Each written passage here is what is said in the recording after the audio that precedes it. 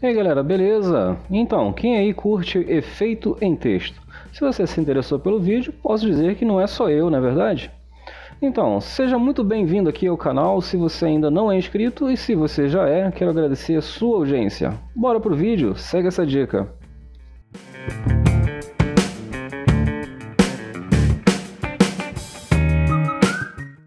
Então galera, a gente vai começar por aqui, pedindo um arquivo novo.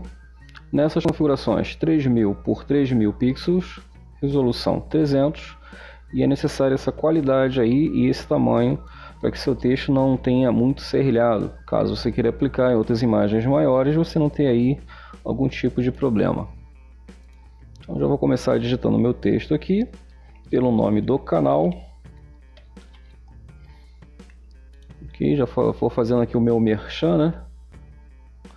Ctrl T, se habilita o Fit Transform. Eu vou aumentar aqui pelas bordas. E é necessário também, para que esse efeito fique bacana, uma letra mais gordinha e um pouco mais reta. Deixa eu localizar aqui uma fonte. Então, galera, a fonte é essa, Anton, e ela só tem essa configuração de regular, mas já é uma letra bem grossinha, bem interessante aí para o nosso efeito. Vou colocar aqui o texto no meio da nossa área de trabalho.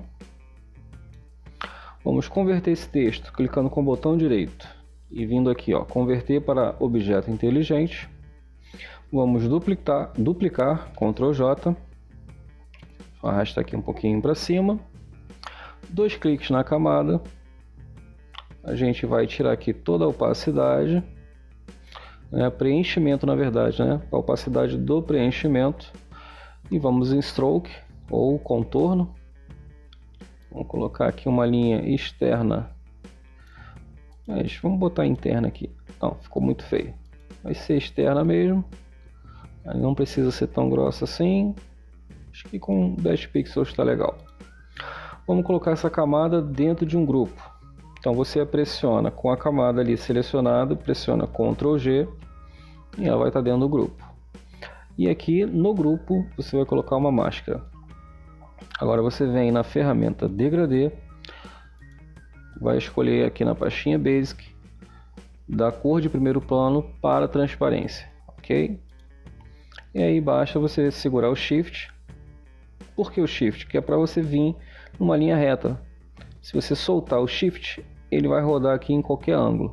Com o Shift pressionado, se eu não me engano, ele vai rodar aqui de 45 em 45 graus, ok? Então você vai aqui ó, devagarzinho traçando alguns tracinhos curtos, outros um pouquinho mais longos, até chegar num ponto que você achar interessante. Bom, achei aqui meu ponto. Vou pegar a ferramenta mover e trazer ele aqui para perto do texto principal. Se eu achei que eu posso ainda melhorar essa, essa transição né, da máscara, eu vou desmarcar esse vínculo aqui e, e preste bastante atenção nesse vínculo que a gente vai usar ele bastante. Eu desmarco aqui para poder mexer somente com a máscara. Posso subir aqui um pouquinho ou descer conforme meu gosto e ou travar novamente aqui.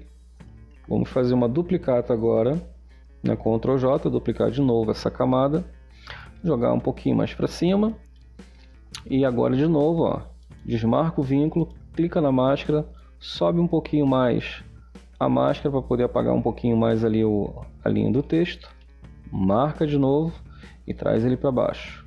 Para dar essa impressão de escala, né? um pouco maior, vai sumindo, coisa e tal. Deixa eu trazer um pouquinho mais para baixo esse aqui.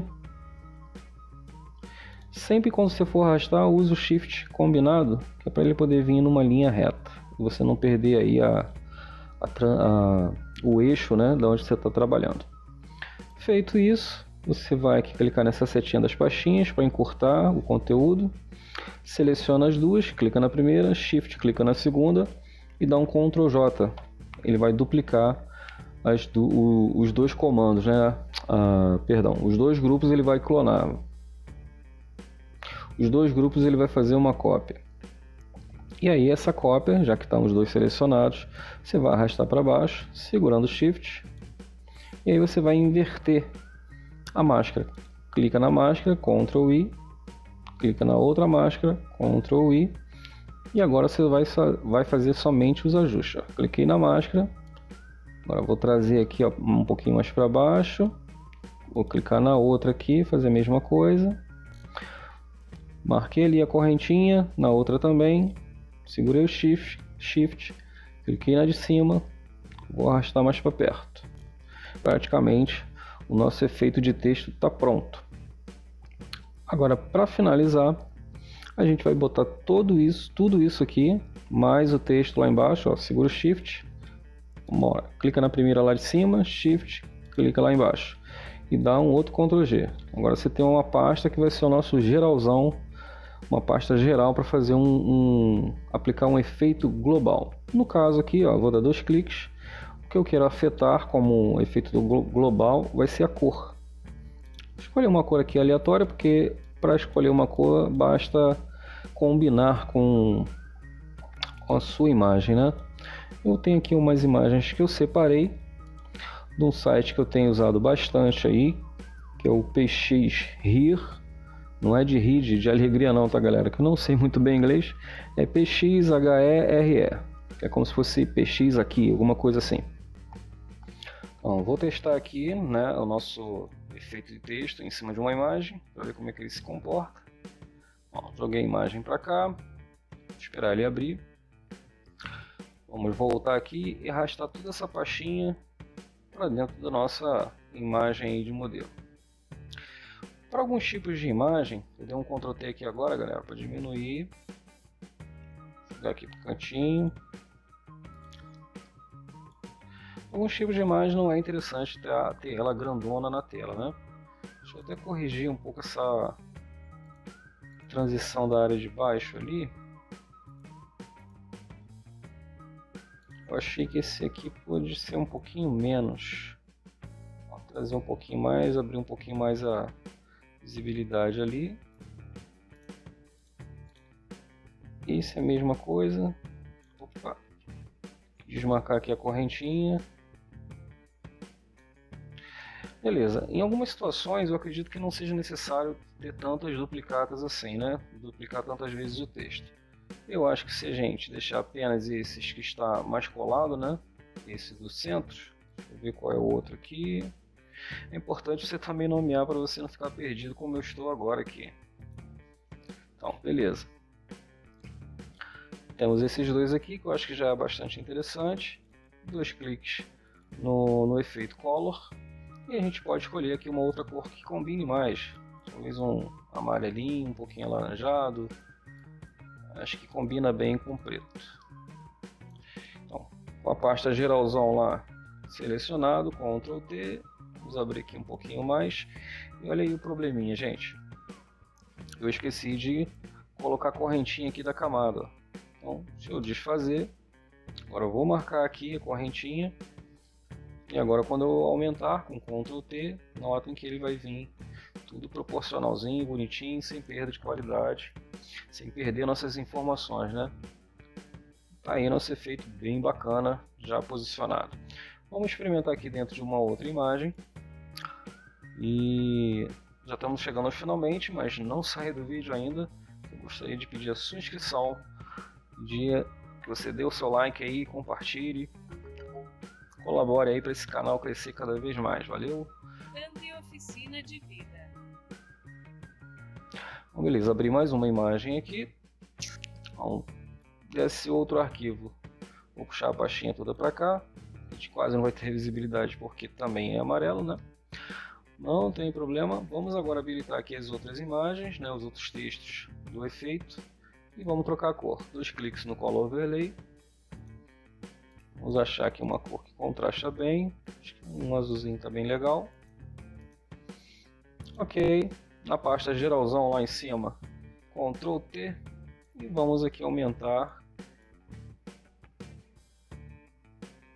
Para encaixar aqui na, na nossa imagem. Uma coisa bem bacana, galera, é o seguinte. Tudo isso que a gente está fazendo aqui é editável, até mesmo para o texto. Então, se eu der dois cliques na, nessa camada aqui onde está o texto, vamos experimentar aqui no, na outra imagem. Se eu der dois cliques aqui, eu vou dar um, um outro nome para a nossa imagem lá, né? Vou colocar aqui, show. Vamos marcar aqui o visto, fechar, salvar, prontinho para a gente utilizar aí, ó. Totalmente editável para você aplicar em qualquer lugar. Ok. Vamos voltar aqui para essa outra imagem. Aqui eu vou, vou deixar aqui a, a marca do, do, meu canal mesmo. Vamos puxar aqui uma outra imagem para dentro do, do Photoshop. Deixa eu ver essa de show aqui, bem bacana. Arrastar aqui para uma área vazia. Vamos trazer de volta aqui, ó. Pega a pastinha toda, joga aqui dentro.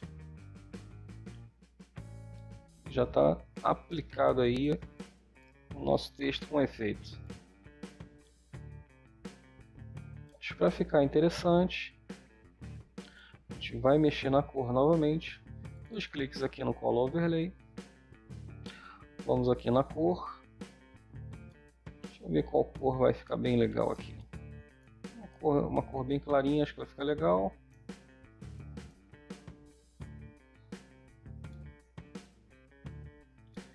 Para ficar melhor, a gente vai dar uma mexida nesse fundo, né? Vamos aplicar aqui um, um mapa de gradiente. Apertando errado aqui, galera. Vai ser mapa de gradiente. É o último ícone ali da, da camada de ajuste. Clicar aqui para trocar de cor.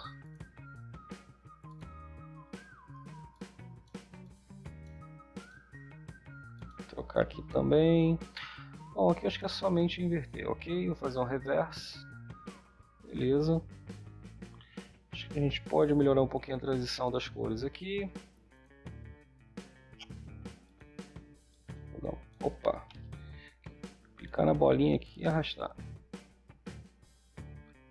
Aparecer um pouco mais o azul para contaminar mais a, a cena, né? Combinar mais também com o amarelo. Bom, tá muito exagerado esse texto. A gente quase não se vê a imagem de fundo, né? Vamos trocar novamente o nosso texto aqui, ó, dá dois cliques no cantinho da camada, que é uma camada inteligente.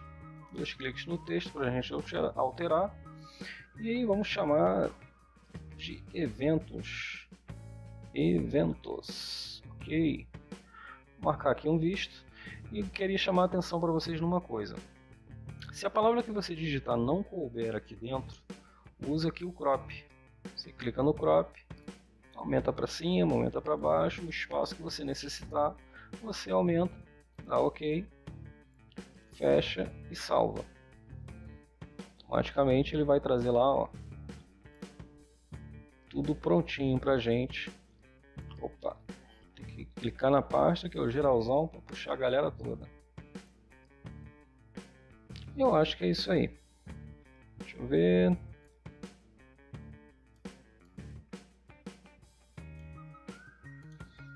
Aqui em cima do lado você coloca algum complemento, mais algum texto. Vou escrever uma palavrinha aqui, rock. Vai ficar legal. Mas agora é só encaixar aqui no mesmo tamanho. E show de bola, né, galera? Vamos aqui agora trazer. Clicar no geralzão, aproveitei que o texto está dentro da pasta geral, vou puxar tudo aqui, vou deixar centralizado. Tá finalizado aí. Ficou bem bacana, né? Então é isso aí, galera. Obrigado por assistir até aqui e até o próximo vídeo. Não se esqueça de se inscrever e compartilhar esse vídeo. Valeu? Um abraço e até a próxima.